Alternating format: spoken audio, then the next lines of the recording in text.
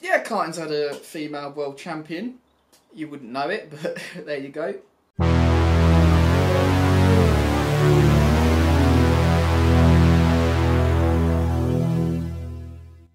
Yes, Susanna Raganelli, 1966 World Championship in Denmark, and she came out on top driving a Tecno Parilla car. So, yeah, um, what drove me to make this video? I think really it seems like karting as a sport has almost zero reverence for its past and its history, and it's quite a rich history with significant milestones. Uh, I, I, I am not the most right on sort of person. Um, I am a beardy vegan, I guess. I guess I must, you know, have some familiarity with that kind of thinking. But at the same time, it seems like an a milestone in, in motorsport history that is almost omitted from all of the historical writings on, on, on motorsport, and I find this very strange. Um, particularly now that the FIA have invested, and the EU, funnily enough, invested in a lot of uh, was it FIA Girls on Track program, and it was, episode one came out today. And um, I, have known about Susie for obviously for quite a long time. I wrote about her two, just over two and a half years ago for my my, my coaching blog. Um, because was, I had a similar thought pattern at the time. Um, I couldn't find any reference to Raganelli on any of the FIA material, and I found that quite bizarre because we're talking about encouraging women into motorsport and uh, a lot of money sloshing about with these programs they seem to omit the fact that in 1966, and I granted it's a long time ago, but still significant. You know, Jack Brabham was F1 world champion in 1966, so you know, nobody's uh, forgotten him.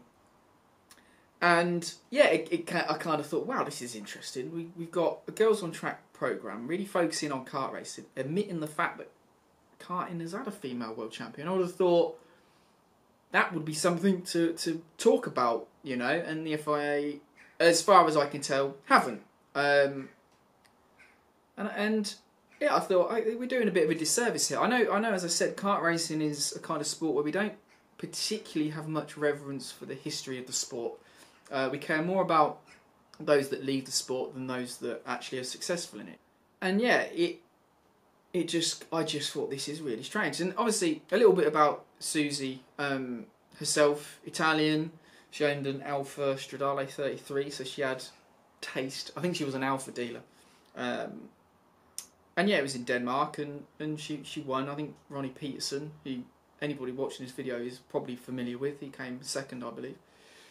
And um, yeah, significant milestone in, in motorsport history. And, you know, when I wrote about it two years ago, I had the same conclusion as I as I had now. I think something kind of weird is going on. So I, I went on the FIA website and I searched Susanna Raganelli. Nothing popped up. Uh, I, I I went on the FIA karting website, Susanna Raganelli. Nothing popped up. I'll have a caveat to that. I did they did have something on on the old CIK website, but I can't help but feel there was an influence of, of Kees van der Grind on that on that website and a bit more kind of historical knowledge within the CIK at that point of view. So yeah, I thought mm, that's kind of weird. If you Google Susanna Raganelli, my blog comes up like number two or three. Not karting, nothing to do karting one. No, I find that kind of embarrassing. I, I shouldn't be a source of information on, on Susanna. Uh, T-Kart's there and, and I think DriverDB and maybe a Wikipedia page. But barely anything. Go on YouTube. Uh, there's the Finnish historical karting uh, they've got a video, but I, I don't understand Finnish. I don't know what they're saying. And, and, and I think a Spanish video with a couple of hundred views, and that's it. And more, more sort of humorously, um, the FIA karting um, published something on their Facebook, uh, an interview with one of the young young female kart racers, and I think in the preamble to it, they went, "Oh, and karting's had a lot of good female drivers, Lotta Hellberg, uh, Sophie Kumpen, blah blah blah." And omitted Raganelli from that, and it's like, wow, okay. I'm not accusing there of being something sexist going on. More that what is actually a hugely significant moment in history for the sport, especially in the modern context of talking about more getting more women into motorsport. We don't talk about the fact that karting's had a female world champion. I'm not sure that's anything to be proud of. Um, there, there were reports of sort of blatant sexism T-shirts uh, worn by one of the teams that says "Down with Susie" and in brackets "knickers," which is horrific. So I don't, I don't think it's particularly proud to say, "Oh, Karting's had a female world champion. We should be proud of that as such." But there's no historical reverence, and yes, it's it's kind of like something I find very very odd, especially from the perspective of the programs that we're seeing are emitting this information. You know, FIA, Girls on Track, and all that kind of stuff. Well, I thought, oh, this would be, I thought this should be front and center. Is it not? Um, why we're not talking about it? Do they not even know about it? I don't know.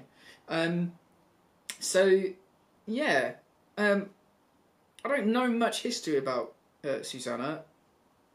Um, there's not much information you can find really. I think there's a few posts on some of the historical karting pages and, and stuff on, on Facebook, and without them, I wouldn't know about Susanna either. Uh, unless I was actually, I might. I think I discovered just looking at the list of world champions. I was like, oh, okay, that's kind of strange. Um, so yeah, I, I just feel like we have a driver, and I think I, think the same about Lotta Hellberg as well, because uh, obviously she won. What was it 1996 European Championship round in Formula Super at Lonato, which doesn't really get. I mean, that's that's like World Championship level uh, race anyway. And I think I think these are the kind of people that should be used as sort of inspirational role models. Like I said, I don't, I don't I don't sign up to all the kind of stuff that you hear, um, but still, I still think these are inspirational women, and they're completely, almost completely omitted from all of the material that we read about. And yeah, it, again, I mean, this is why I wanted to do the video. It's it's not going to be a long video. I just wanted to have a quick a quick natter about it, really, um, because I think uh, Susanna Raganelli is a name that I think everybody should know about it. Um, I think I like I, like I always go back to really because karting isn't seen as a sport within itself uh, much anymore. The historical names kind of fade into history, and I kind of think that's kind of a shame. And I think we should start talking about them a bit more. Um, I would love to find a bit more information about Susanna, who she was. I know I know obviously I know the Alfa Romeo stuff, which is cool.